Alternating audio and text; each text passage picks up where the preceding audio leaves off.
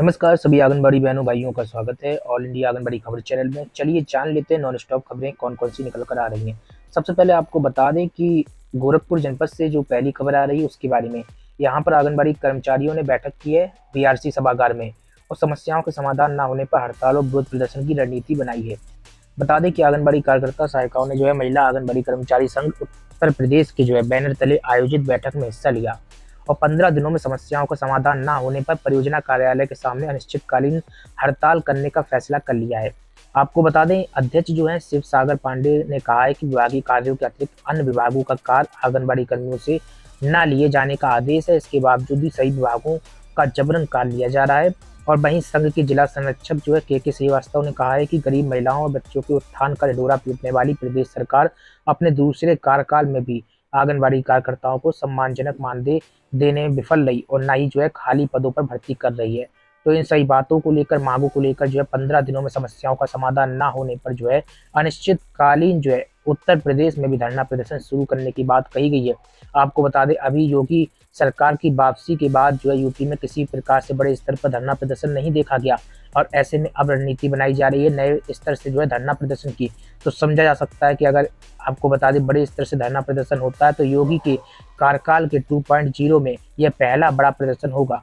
आपको क्या लगता है उत्तर प्रदेश में आंगनबाड़ी कर्मियों को धरना प्रदर्शन करना चाहिए या फिर नहीं? अगर करना चाहिए तो यस ज़रूर लिखिएगा, और नहीं करना चाहिए तो नो लिख सकते हैं। साथ ही जो लोग नए हैं, चैनल को वो सब्सक्राइब कर ले बेल को दबाकर लाइक और शेयर करना मत भूलिए। आप लोग देखिए सब्सक्राइब करते हैं तो अच्छा लगता है, इससे क्या होगा, आपको नोटिफिकेशन भी मिल जाएगी और खबर भी सच्ची सटीक मिलती रहेगी। वरना बहुत सारे चैनल ऐसे जो फर्जी खबरें दे रहे हैं, उनको भी आप लोग देख रहे हैं। सिर्फ़ गुमराह करने का वो लोग काम कर रहे हैं, लेकिन सच्ची खबरें आप लोगों तक हम पहुँचाने का काम कर रहे हैं। तो इसलिए आपको लगता है तो चैनल को सब्सक्राइब ज़रूर करिएगा। चलिए दूसरी खबर जान लेते हैं। देखिए, राजस्थान के करौली से एक खबर आ रही है। यहाँ पर आज जो है कृमि मुक्ति दिवस का आयोजन होगा और कृमि मुक्ति दिवस के तहत आपको मालूम है उन्नीस साल तक के जो है उम्र के बच्चों को जो है किशोर किशोरियों को कृमिनाशक दवाइयाँ खिलाई जाती हैं। और इसका कारण क्या है? कीड़ों को मानना। यह दवाएँ कीड़ों से जो है निजात दिलाती है और सभी जनपदों में जो है ज़िले के जो है सभी विद्यालयों में आंगनबाड़ी केंद्रों पर निःशुल्क खिलाई जाएगी। तो चलिए ये प्रक्रिया आपको बता दें अन्य जनपदों में भी रहेगी और ये व्यवस्था के तहत जो है दवाइयों का वितरण किया जाएगा जिसका नाम जो है एलवेंडा जोल रखा गया है। देखिए झारखंड से बताया था कि झारखंड का देखो सम्मेलन हुआ ये तस्वीर आप देख सकते हैं। झारखंड राज्य आंगनबाड़ी सेवका सहायका संघ सीटू का संपन्न जो है तीसरा राज्य सम्मेलन में सीटू के नेता संजय पासवान प्रदेश कार्यकारिणी अध्यक्ष बन गए हैं और इसी के साथ ही जो है मीरा देवी जो है मीरा प्रदेश अध्यक्ष बनी इसके साथ ही कोडरमा से शकुंतला मेहता उपाध्यक्ष बरसा रानी सभा संतोषी देवी संयुक्त सचिव के अलावा जो है अलग अलग जो है पदों की ज़िम्मेदारी दी गई। इसी के साथ ही झारखंड से 355 प्रतिनिधि शामिल हुए। कोडरमा जनपद से 25 प्रतिनिधियों ने हिस्सा लिया और इसी के साथ अन्य लोग यहाँ पर मौजूद रहे। देखिए तस्वीर हम आपको दिखा रहे हैं। झारखंड राज्य आंगनबाड़ी सेवका सहायका संघ सी और अफवाह से संबंधित जो है झारखंड राज्य आंगनबाड़ी सेवका सहायका संघ की कन्नई कार्यकारिणी के तहत जो है पदाधिकारी हैं। और आपको बता दिए नई पता जो कार्यकारिणी गठित की गई है, इन सभी का मकसद एक ही है, जो राज्य सरकार ने मांग की है, आपको बता दें वादा किया है, वो तो पूरा किया ही है, लेकिन बहुत सारी ऐसी मांगे हैं, जो हमने कल खबर में आपको बताई थी, वो पूरी नहीं हुई है, उसको लेकर अब जो है लड़ाई लड़ी जाएगी। ये देखिए, आंगनबाड़ी केंद्र बीस सेकेंड में देखिए किस तरीके से गिर गया, भागलपुर, बिहार की तस्वीर है, भागलपुर में कटाव का इस तरीके से जो है, कहर बर्पा की आंगनबाड़ी केंद्र, देखिए किस तरीके से भड़बड़ा कर गिर गया। आपको बता दें, भागलपुर में जो है गंगा का रौद्र रूप देखने को मिला और रोज़ाना दस दस जो है घर नदी के कटाव विलीन हो रहे हैं।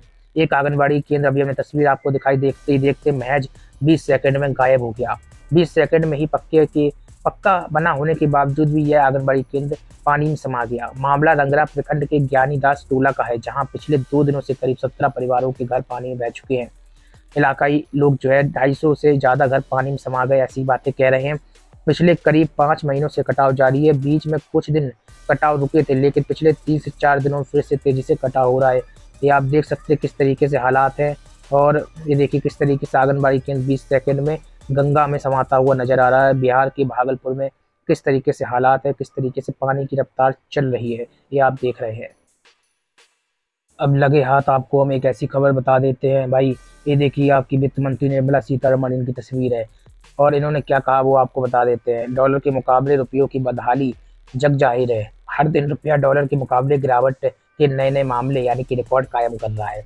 ऐसे में देश की वित्त मंत्री निर्मला सीतारमण जो है एक बयान देती हैं, जिस कारण से इनको चौतरफा घेरा जा रहा है। डॉलर के मुकाबले एक रुपये की कीमत बयासी दशमलव चार दो रुपए तक पहुँच गई है। इस बदहाली को स्वीकार करने और इसके सुधार करने के लिए कदम उठाने की बजाय केंद्र की मोदी सरकार इस बदहाली में भी फ़ायदे गिना रही है। अब केंद्रीय वित्त मंत्री निर्मला सीतारमण का एक ऐसा बयान आया जिसके बाद जो है वह काफ़ी सुर्खियों में आ गई। रुपयों की बदहाली के लिए उन्होंने अजीबो गरीब तर्क दे दिए। तर्क हम आपको दिखा रहे हैं।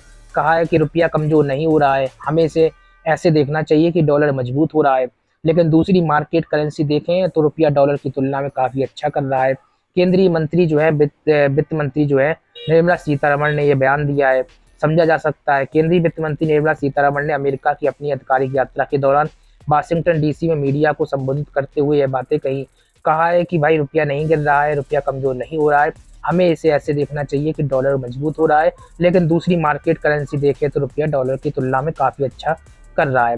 तो मतलब सुधार करने की जगह, व्यवस्थाओं को दुरुस्त करने की जगह बाय बाय करने में जो है विदेशों में भी काम किया जा रहा है। क्या कहना है आपका? रुपया गिर रहा है या फिर नहीं कमेंट है बताएँ?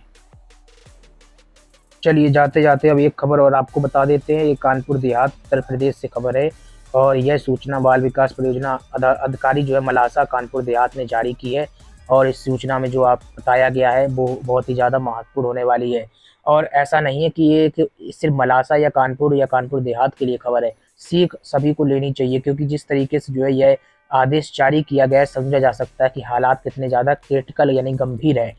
और इसमें देखिए, बाल विकास परियोजना पदाधिकारी द्वारा ये जारी किया गया। इसमें लिखा क्या है कि अवगत करा दें कि श्रीमती कंचन प्रभा, आंगनबाड़ी कार्यकर्ता, केंद्र, लेबा, मऊ, मलासा में जो है कार्यरत हैं। कंचन प्रभा के पास बाल संरक्षण योजना फार्म से संबंधित लाभार्थियों को लाभ देने हेतु बैंक कर्मचारी बनकर किसी ने फ्रॉड कॉल कर दिया और फिर उनसे जो है बैंक से संबंधित जानकारी लेकर आर्थिक रूप से भारी नुकसान पहुँचाया है। सभी को सचेत किया गया है कि यदि जालसाज लोग आपको बैंक कर्मचारी बनकर कोई फ्रॉड कॉल करते हैं और अपनी मीठी मीठी बातों फंसा कर लालच देकर आपसे आपकी bank passbook Aadhaar card ATM password OTP net banking से संबंधित जानकारी अगर मांगते हैं तो फिर उन्हें किसी प्रकार से जानकारी या सूचना ना दें। अन्यथा आपको आर्थिक रूप से जो है क्षति, आर्थिक रूप से भारी नुकसान तक हो सकता है और आपका किसी भी फ्रॉड नंबर से फ़ोन आता है तो इस तरफ़ के नंबर से आर कॉल आने पर उसे कभी भी ना उठाएँ। सबसे पहली बात यह है कि कुल मिलाकर फ्रॉड हुआ है, धोखाधड़ी चल रही है और आपको बता दी फ्रॉड कॉल कहीं भी किसी भी के पास आ सकता है। ऐसे में अब आपको हम बता रहे हैं क्या करना है।